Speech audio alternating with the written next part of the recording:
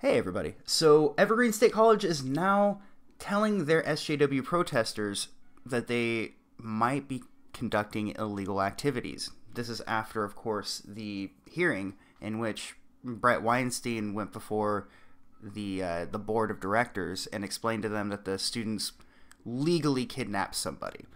And I think now, after using words like that, they started taking it a little bit more seriously. So we'll go ahead and take a look. And this is on the Blaze, which I do believe is Glenn Beck's website, if I'm not mistaken. A Friday memo emailed from Washington's Evergreen State College administrators to the student body have said that actions taken by the social justice advocates over the last few months, including intimidation and prohibition of egress from school areas, have been illegal and could result in criminal charges. According to the College Fix, Vice President for Student Affairs Wendy Endress wrote in a July 14th memo that recent events by social justice warrior students have tarnished Evergreen State College's reputation to the point that enrollment at the college has fallen. And I'll leave a link to that, all of these in the description as well. Furthermore, Endress noted that the Washington legislators that introduced two bills to phase out public funding for Evergreen turned the college into a private entity. According to the College Fix, in early June, State Representative Matt Manweller introduced House Bill 2221, and State Senator Phil Fortunato introduced sister legislation Senate Bill 5946. These bills would remove funding from Evergreen and give it to the UW engineering program, STEM programs, math, and science, according to KIRO interview with Manweller on June 8th. Let's spend the money on a credible degree rather than a social justice victimization woe is me. I want reparations pseudoscience that they are teaching at Evergreen. Couldn't have said it better. When this bill passes, they still find they still feed each other all the Marxist nonsense they want. They just won't be able to do it with money from my constituents unless my constituents can uh, choose to donate it, which I doubt. I really like I, I like these two guys. In Endress's memo, she listed two incidents in particular as their greatest concern. On May 23rd, a sizable group approached the classroom where faculty member Bret White. Okay, we're familiar with all of that. I'm not even going to bother because if you if you haven't seen all of that by now, I'd be surprised. Endress's memo went on to warn students that intimidation and obstructing people from leaving is criminal and may result in charges. Call it College Fix reported. In the future, individuals could be charged with crimes including obstructing law enforcement, disorderly conduct, criminal mischief, and or unlawful imprisonment. Endress wrote, preventing a law enforcement officer from responding could place community members at a great risk. Blocking egress doors is a violation of fire codes. This action endangered everyone in the library. I have to be honest, this is the first time I've seen this word is in this article. According to the College Fix, Endress did not mention the incidents involving the baseball bat wielding group that assaulted a dissenting student. Oh, they actually did assault somebody. That's lovely.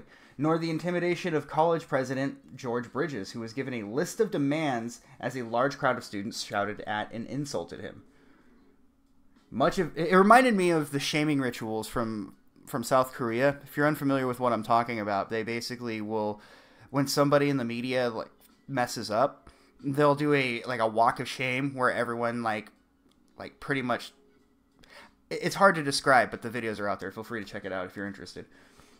Much of Evergreen's troubles began in May when Weinstein refused to leave campus during a day of absence, in which black and Latino students typically leave the campus. That year, black and Latino students wanted to reverse the order, forcing white students to leave. That's right. Instead of making it voluntary, it became a no, instead of us voluntarily wanting to go, we force you to go because of your race, because of the color of your skin rather than the content of your character. Gotta love that. That year, black and Latino students wanted to reverse the order, forcing white students to leave. This resulted in the May 23rd incident where a group of student activist confronted Weinstein, then screamed and insulted the professor.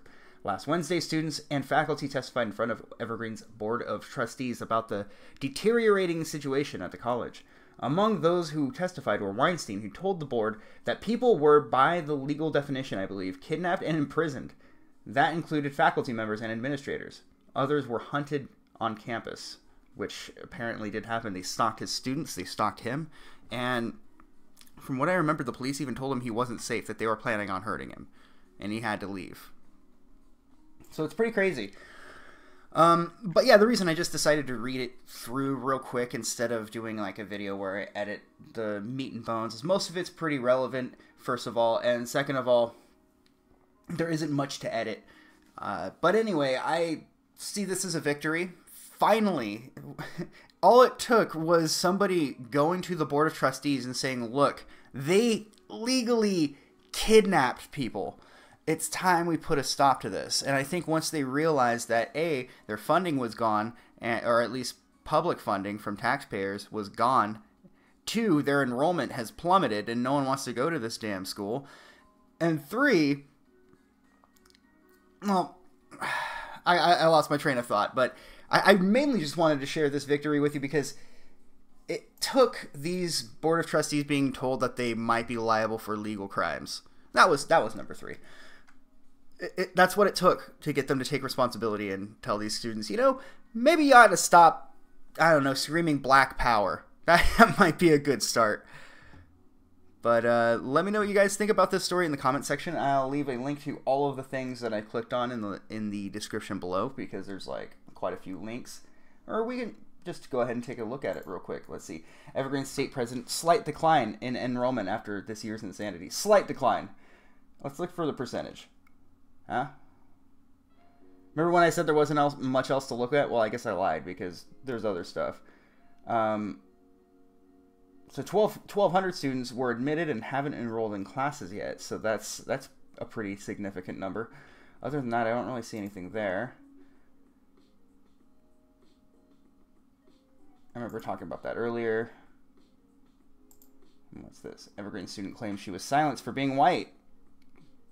This just happened the other day. Okay, an Evergreen student college, an Evergreen State College student claims that classmates refused to let her voice her opinions in a meeting with administrators earlier this year because she's white. She says that she was rebuffed several times when she tried to express her views on the pro- on the protests that shook campus this spring, even being told to stand silently in the back after classmates reluctantly let her join one meeting. Immediately, when I got off the elevator, I was told I couldn't go into the room because I was white. Nah, I'm good. I- I'm good off these these fucking crazy people. Um, but I'll, like I said, I'll leave a link to all of this in the description below. Feel free to check it out for yourself. I am more or less done with the uh, the evergreen controversy. I'm just happy that they finally uh, publicly defunded the school. I didn't know all that had gone through, but it seems like it may have, and their enrollment drops. So the important thing happened. People are voting with their wallets, and people are being heard, and not just the people who are screaming that they're not allowed to be heard while chanting things like Black Power, and then followed by these racist teachers have to go. The irony, the irony is totally lost on those students, by the way. But yeah, again, I apologize for the laziness of this video, but uh, I was kind of eager to get it to you, as opposed to editing it, editing it down meticulously and then waiting for it to encode. Kind of wanted to get this to you as soon as I could because the story's kind of big, kind of big indeed. Evergreen State College administrators finally tell SJWs their actions were illegal. Mm. Finally, one of the parents decided to do something. And by parents, I don't mean the actual parents of the students. I mean the theoretical adults in the situation. But yeah, I'll, I'll end this video there. See you guys later.